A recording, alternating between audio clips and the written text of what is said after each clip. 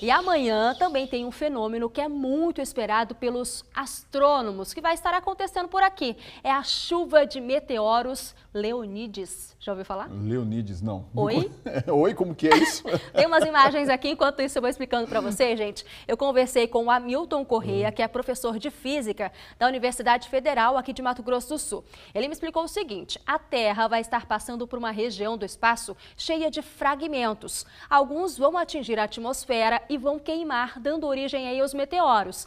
Pra gente, né, Genias, fica até difícil observar, mas são esses risquinhos brancos aqui que a gente vê na tela que é o que queima quando entra na atmosfera e, e provoca esse fenômeno aí, é isso? É isso ah, deu pra mesmo. ver legal aqui. Em alguns casos eles podem até cair na superfície, mas são mais raros e aí são chamados de meteoritos, né? É um fenômeno muito mais raro de acontecer. Essas fotos são do Giovanni Ressigno. Ele é acadêmico do Sistema de Informação e tem várias câmeras de monitoramento de meteoros lá na casa dele. Essas câmeras ficam viradas para o céu.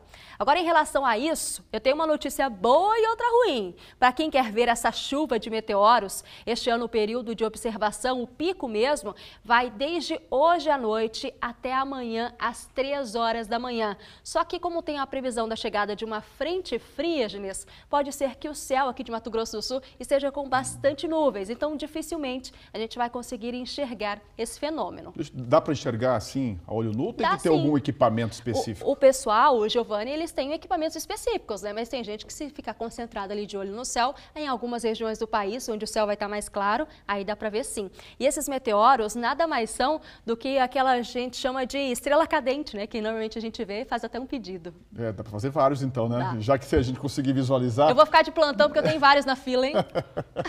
Ó, chegou uma foto aqui